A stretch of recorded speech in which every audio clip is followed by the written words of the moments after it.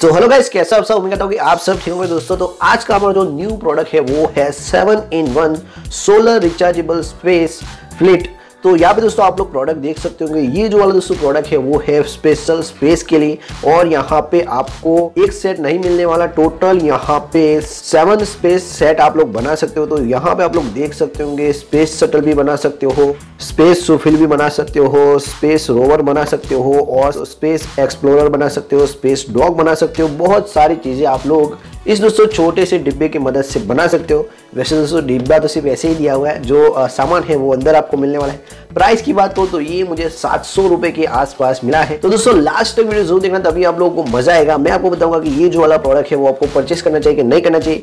इस वीडियो का लाइक का टारगेट है एक हज़ार लाइक तो मुझे पता है कि दोस्तों, आप लोग लाइक को ज़रूर पूरा करोगे। तो चले तो फिर ज़्यादा वक्त लगवाते इस बॉक्स को मैं कर लेता हूँ, ओपन। और दोस्तों, आपने नेक्स्ट वीडियो देखी, कुछ ऐसा ही आपको स्ट्रक्चर मिलने वाला है।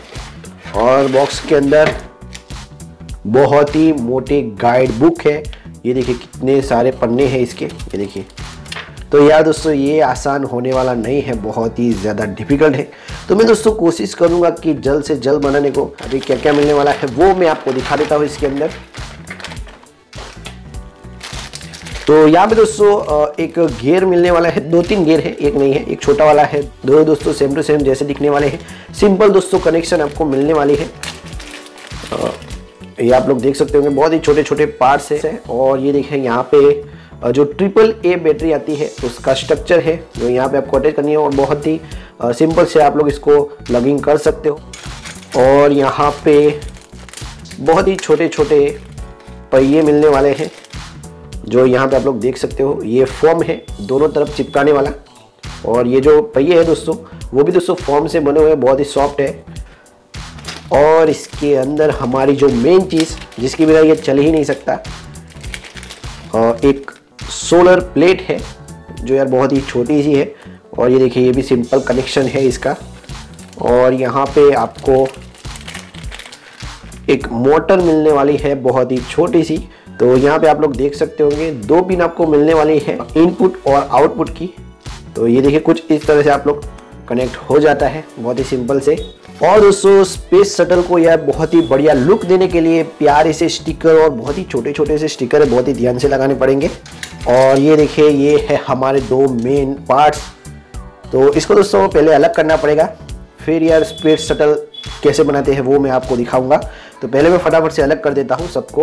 तो यहाँ पे दोस्तों आप लोग देख सकते हो फाइनली जो मैंने पार्ट्स है वो अलग कर दिए है और आप लोग देख सकते होंगे कितने छोटे छोटे पार्ट्स है। तो यार, बहुत ही डिफ़िकल्ट होने वाला है जो स्ट्रक्चर बनाना। ये देखिए, अभी और मैं छोटे छोटे पार्ट्स दिखाता हूँ। ये देखिए, ये गियर आप लोग देख सकते हो। तो दोस्तों, बहुत ही ज़्यादा मेहनत लगने वाली है। तो प्लीज़ यार, दिल से आप लोग एक लाइक ज़रूर ठोक देना। और जो लोग नए हैं, वो लोग हमें चैनल को सब्सक्राइब भी ज़रूर कर देना। और बेल आइकॉन है, उसको भी दबा देना ताकि ऐसे ही एक्सपेरिमेंट दोस्तों में आगे भी लेके आने वाला हूँ। तो चलिए तो फिर ज़्यादा वक्त ना फटाफट से मैं करता हूँ स्टार्ट देखते किस तरह का स्ट्रक्चर बनता है। तो चलिए तो फिर शुरू करते हैं।